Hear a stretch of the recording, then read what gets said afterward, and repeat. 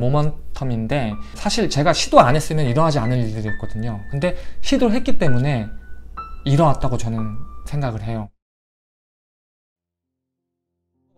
어떻게 해야 돼 그러니까 아 너 그래 가서 물어보라고 어떻게 해야 될지 랩 친구가 한 이제 저한테 조언을 해준 거예요 그래서 막 달려갔죠 딱 잡고서 야 이제 나 어떻게 해야 돼 그러니까 걔가 딱 보더니 너 언제 한국 돌아가니? 라고 물어보는 거예요 그래서 제가 나 요번 주 토요일 날 돌아가 그러니까 아 그래?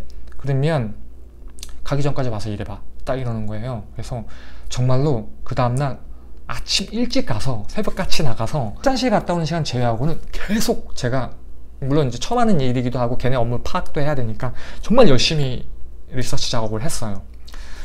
그렇게 진짜 5일, 6일 왜 그런 거 있잖아요. 해외 한번 나갔다가 들어가면 선물도 사갖고 가잖아요. 저는 그런 거 없었어요. 그냥 계속 그 작업만 했어요. 그러다가 이제 마지막에 저랑 같이 그 랩에서 일하는 그 친구한테 이제 얘기했죠. 나 오늘 마지막이야. 뭐 내일은 비행기 타고 가야 돼. 그래서 이제 마무리를 최대한 하는 데까지 하고 그리고 이제 비행기를 타고 돌아왔죠. 한국으로. 아, 그리고 또 이제 제가 한국으로 돌아가는 날 또 그 형이 이제 그 논문 발표가 있었어요. 그래서 좀 아쉽게 그 논문은 직접 참관하지 못하고 어쨌든 이렇게 한국으로 돌아갔죠. 그리고 돌아간 다음에 돌아간 도착한 날인가 이제 이메일이 하나 온 거예요. 뭐라고 이메일을 하냐면 오케이 같이 일하자. 그래서 그 우리가 비자 스폰이나 이런 것들이 이제 FedEx로 갈 거니까 그 스텝 밟아가지고 빨리 미국 들어와라 해가지고 이제 저는 어떻게 정말 운이 정말 좋은 케이스예요. 어떻게 관광으로 들어갔다가 research fellow 그 어떻게 보면은 research fellow가 여러분들 이제 박사 끝나고 포닥이나 약간 이런 이런 레벨급이 가는 데인데 저는 좀 어떻게 좀 잘 풀려가지고 데이터 비주얼라이제이션, 3D 비주얼라이제이션 스페셜리스트로 이제 research fellow가 이제 된 거죠. 제가 생각할 때는 운이 굉장히 좋은 케이스였고 뭐 비자 관련돼서도 그렇고 어, 입국도 때도 그랬고 그러니까 제가 이렇게 다른 경쟁하는 분들보다 영어라든지 아니면 비자 문제라든지 모든 부분들이 이렇게 좀 열악 하잖아요. 근데 그런 상황에서는 그런 것 같아요. 그러니까 자기가 이미 손댈 수 없는 부분은 일단 그냥 놔두는 게 제일 좋고 자기 할 수 있는 부분은 끊임없이 최대한 강화시켜가지고 했던 전략이 좀 먹히지 않았나 하는 생각을 좀 개인적으로 하고 있고 만약 그런 분들은 없으시겠지만 이걸 보고 따라 하시는 분들이 계실 수도 있는데 저는 좀 이렇게 뭐 자유시겠지만 어, 저는 운이 좋았기 때문에 그게 일반화 되기는 좀 쉽지 않은 것 같은데 어쨌든 조심하셔야 될 것 같고 이 사건을 겪으면서 어떻게 보면 제 인생이 또 다른 방향으로 확 점프하게 된 이제 그런 모먼텀인데 사실 제가 시도 안 했으면 일어나지 않을 일들이었거든요. 근데 시도를 했기 때문에 일어났다고 저는 생각을 해요. 사실은 그 전에도 그랬지만 시드니 갈 때도 사실 그런 생각 갖고 왔는데 내가 할까 말까 고민하면 그냥 하는 게 맞는 것 같아요. 그래야지 후회도 없고 했을 때 내 상상 밖에 다른 결과들이 분명히 있거든요.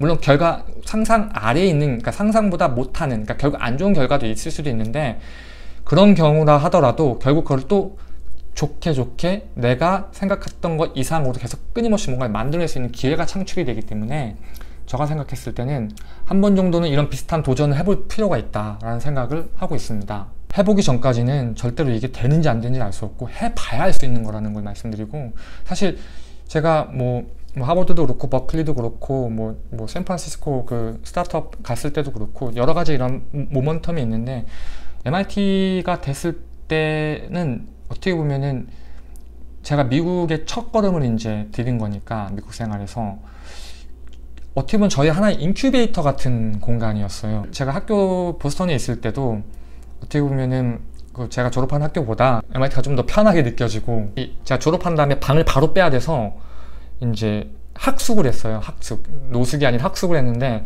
하버드 같은 경우에 학교 문들을 다 잠가요. 다 잠그고 카드가 액세스가 안 되거든요.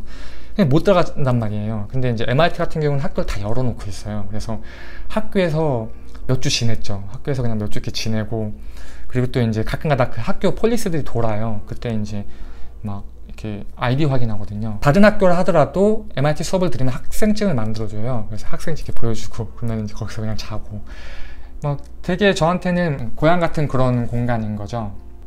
사실 좀 MIT에 대해서 제가 아는 부분을 좀 더 말씀드리면 한국 사람들도 물론 정말 대단한 학교라고 생각을 하는데 이 미국에서 느껴지는 거는 한국 사람들이 생각하는 것보다 정말 더 대단한 학교거든요. 공대뿐 아니라 뭐 인문학적으로도 굉장히 탄탄하고 저희가 매년 이 세미나를 여는데 워크샵 뭐, 뭐 컨퍼런스를 여는데 그때 이제 노암 촌스키 아시죠? 그 유명한 그 할아버지 그 할아버지도 거기 MIT에 계시고 공대뿐 아니라 정말 미국 내에서는 거의 최고의 탑스쿨로 이제 추는 그런 정말 좋은 학교고 학생들한테도 그 학비라든지 그런 부분들도 굉장히 펀딩이 아무래도 이제는 그거는 매사추세츠 공과 대학이니까 어떻게 보면 주립에 있는 속해 있는 대학교니까 사립인가?